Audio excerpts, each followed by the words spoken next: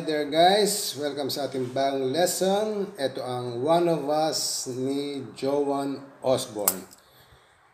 Itong lesson na to ay intended for beginners.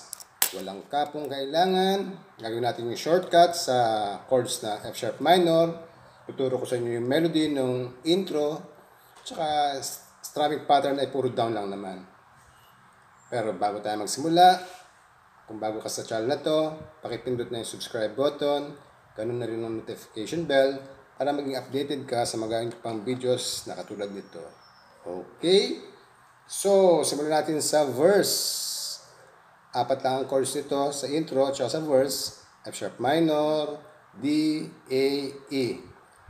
Ang strumming pattern natin ay puro down, tatlong down sa bawat chords. Ha?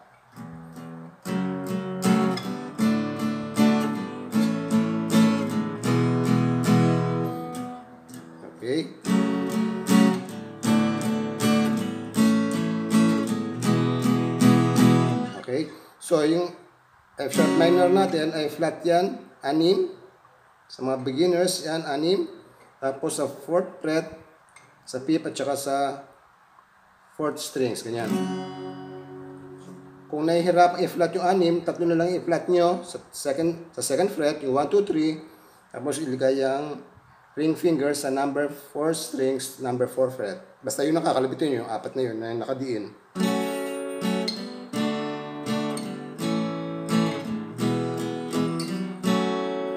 Shortcut natin yon para sa bang uh, baguhan, madali lang makuha yung flat. Kasi simula kayo sa konti muna yung flat, tapos hanggang sa matutunan nyo na yun, na kailangan nyo rin talaga ma magamit yung flat, flat chords na yan, yung mga may bara, kasi marami pa kayo ma-encounter na ganyan, okay? So, puro down ang ating strumming pattern, F sharp minor, tatlong, tatlong down,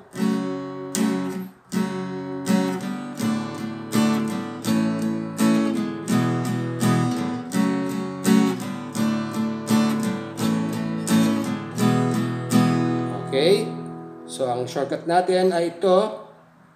Yung tatlo nga rito. 1, 2, 3 na strings sa second fret. Sa number 4 strings, number 4 fret. Yung ring finger. Yung nga, kalabitin nyo yung apat, ha?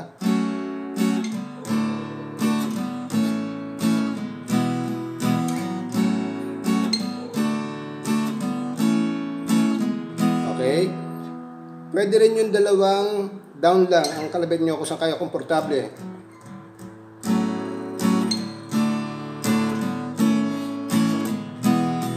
Para may, may option kayo kung saan kayo, saan ang tingin nyo tama, saan kayo komportable, saan ang madali sa nyo, yun ang gagawin nyo. Okay? So, after that, yun lang apat nating chords. F sharp minor, D, E. So, sa refrain ay D-E lang.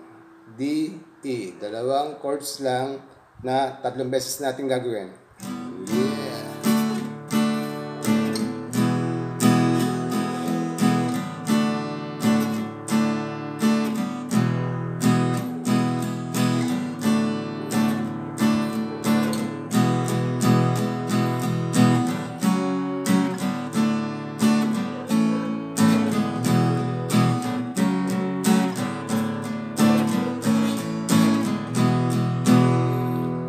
Tapos, yung melody ng intro.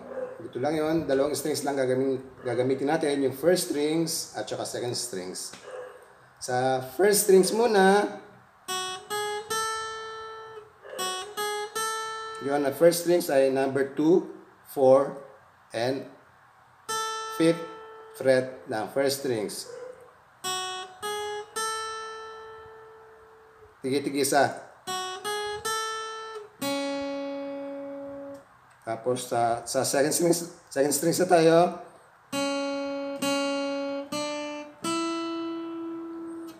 Yan, okay? Sa second strings ay second fret, dalawang beses. Tapos 2, 3, 5.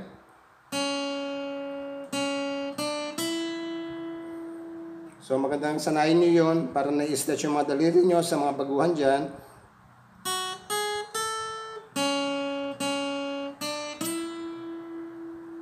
Ulit.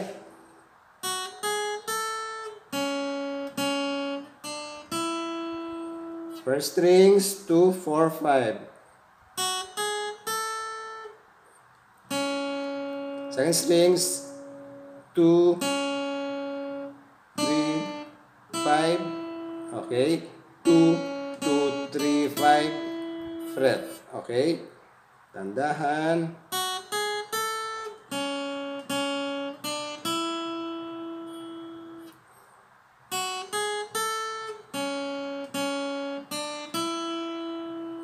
So, yung intro na yon naglalaro lang sa apat na chords. Yung apat na chords natin ng F sharp minor, D, A, and E. F sharp minor, D, A,